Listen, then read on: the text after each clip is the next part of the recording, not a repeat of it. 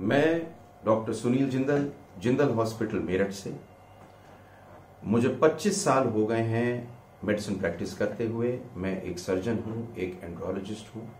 आज प्रधानमंत्री जी ने एक हिंदुस्तान के लॉकडाउन का अनाउंसमेंट किया है 15 अप्रैल तक। मेरी आपसे हाथ जोड़ के एक निवेदन है।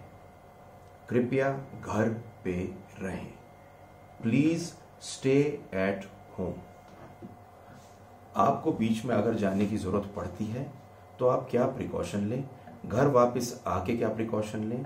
और अगर घर में किसी को बुखार हो तो आपको क्या प्रिकॉशन लेनी है? ये मैं आपको बताने जा रहा हूँ।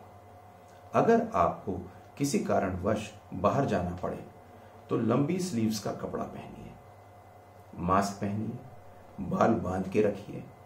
पब्लिक ट्रांसपोर्ट वैसे तो बंद होगा, लेकिन किसी भी ऐसे ट्रांसपोर्ट में मत जाइए जिसमें ज़्यादा लोग हों। खांसी होती है तो यह तो हाथ के अंदर कीजिए या टिश्यू पेपर में कीजिए।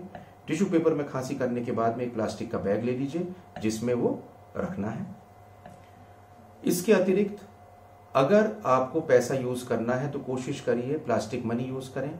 अपने हाथों को धोएँ, अपना चेहरा ना छुएँ, और अगर किसी से मिलना है तो कम से कम दो मीटर का फासला रखें। अब आप अपना काम निपटा के कुछ बैग लेके घर आए हैं। तो आपको क्या करना है? अपने जूते बाहर उतारें, अपने हाथ धोएँ। बैग अगर बाहर छोड़ सकते हैं तो बाहर छोड़ दीजिए। सामान में अगर सब्ज़ियाँ हैं तो गर्म पानी में धोइए। अगर कोई और चीज़ है तो सैनिटाइज करके घर के अंदर लाइए। इसके बाद में सबसे ज़रूरी है आपका नहाना है।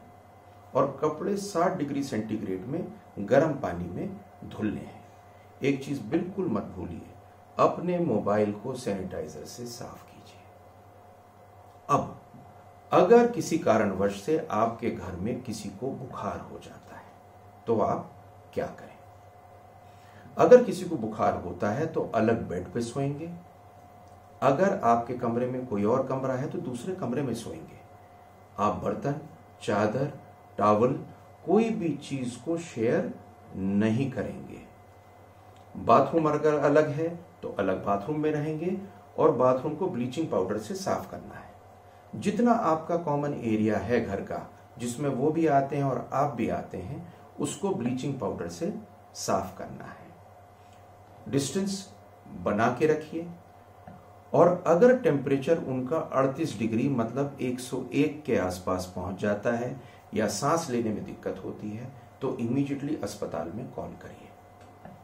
अगर आपको 14 दिन के लिए घर रहना है तो 14 दिन घर रहना है। अगर आप बाहर चले जाते हैं तो जिस दिन बाहर जाते हैं, उसको पहला दिन माना जाएगा। अपने लिए, सब देशवासियों के लिए एक काम हम सबको करना है, और वो करना क्या है कि घर पे रहना है। और इस टाइम पर 15 अप्रैल तक किसी रूप में इस लॉकडाउन की अवहेलना नहीं करनी। जय हिंद जय भारत।